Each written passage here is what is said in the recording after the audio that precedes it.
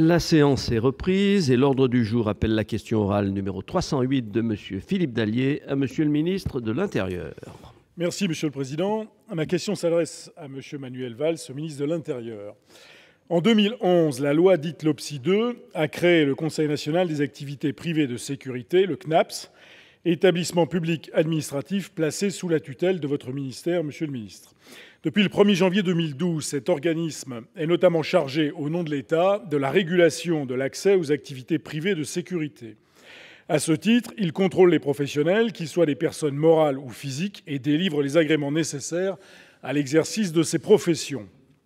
Pour bénéficier d'une autorisation d'exercer ou de se former à ces métiers, le demandeur doit évidemment ne pas avoir commis d'actes répréhensibles et incompatibles avec la profession.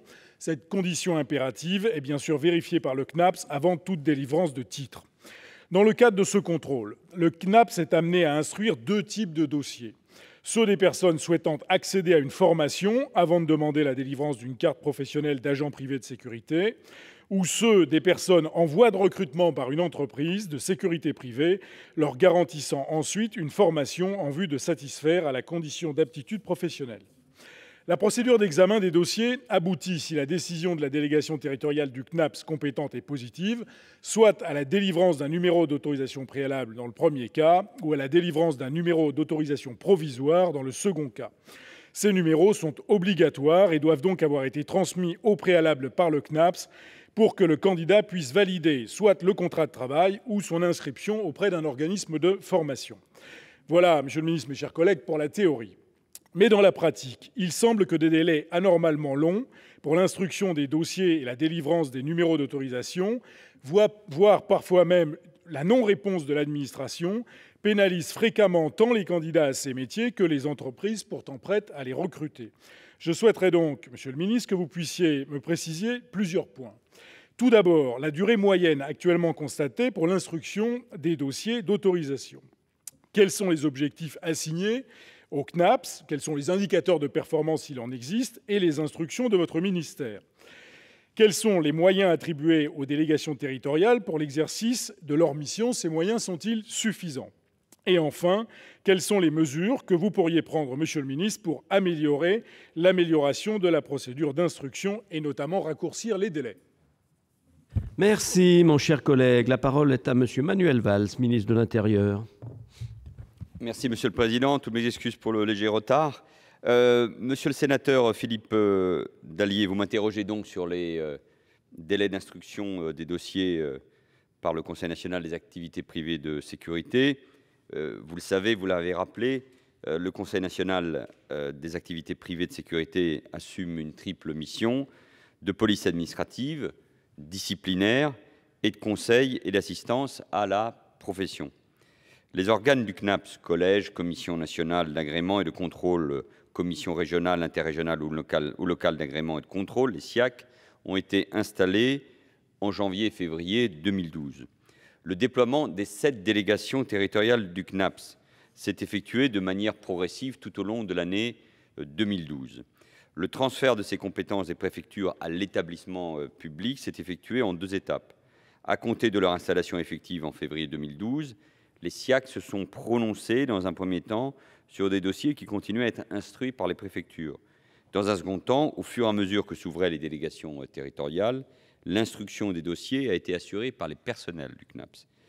Si ces transitions successives ont généré au premier semestre quelques difficultés, vous l'avez rappelé, ces retards ponctuels dans la délivrance des titres se sont résorbés dans les semaines qui ont suivi l'ouverture des délégations territoriales. Il peut y avoir ici ou là encore évidemment quelques difficultés. Le CNAPS a ainsi, dès la première année, produit 83 408 décisions conduisant à la délivrance de 75 355 cartes professionnelles et autorisations préalables. Certaines délégations ont dû en effet faire face à une augmentation des demandes lors du dernier trimestre 2012. Cette hausse s'explique pour partie par le caractère dissuasif des 826 contrôles effectués par le CNAPS en 2012. S'agissant des délais, la notification de l'autorisation préalable ou provisoire, comme de celle de la carte professionnelle, s'effectue aujourd'hui pour 80% des dossiers dans un délai moyen de 10 jours, suivant l'envoi par la délégation territoriale de l'accusé de réception attestant de euh, la complétude du dossier. Dans les 20% de cas restants, la durée de traitement des demandes est plus longue. Ces cas correspondent à des situations dans lesquelles une enquête approfondie doit être menée par les services de police et de gendarmerie afin de satisfaire aux conditions exigées par la loi. Je l'ai moi-même rappelé d'ailleurs devant euh, le CNAPS. En effet, les agents du CNAPS en charge de l'instruction des demandes d'autorisation doivent, lorsque les antécédents judiciaires sont constatés, saisir les services de police et de gendarmerie pour connaître les raisons précises ayant justifié cette mention et vérifier si elles sont ou non compatibles avec la délivrance de l'autorisation sollicitée. Il faut également obtenir la position de l'autorité judiciaire. La collaboration vertueuse entre le CNAPS et les services concernés augure, je crois, à court terme, de l'harmonisation des modalités de traitement des enquêtes de moralité et de réduction des délais. Par ailleurs, l'expertise acquise par les agents du CNAPS, ajoutée aux effets des démarches en cours pour optimiser le concours d'instruction et les systèmes d'information associés, devrait, je l'espère, c'est attendu ainsi, produire leurs effets dès 2013. Et la combinaison de ces facteurs contribuera à l'amélioration du délai de traitement des demandes d'autorisation et de carte professionnelle formulées par les futurs agents de sécurité privée. Le ministère de l'Intérieur, en tant que tutelle de l'établissement public, veille attentivement à l'amélioration de la qualité du service proposé par le CNAPS et à la réduction euh, des délais de traitement, la moralisation euh, de ce secteur, sa professionnalisation, euh, but que je crois nous partageons tous, sont évidemment au cœur des priorités et de l'établissement public et de la profession et évidemment du ministère. Nous rentrons, je crois, dans une année qui devrait permettre des améliorations. C'est ce que je voulais vous répondre, monsieur le sénateur. Merci, monsieur le ministre. Monsieur Dallier. Monsieur le ministre, merci de ces éléments de réponse et de l'espoir d'amélioration que vous nous laissez envisager. Les métiers de la sécurité, je ne sais pas s'il faut s'en féliciter ou le regretter, mais c'est ainsi, sont des grands pourvoyeurs d'emplois.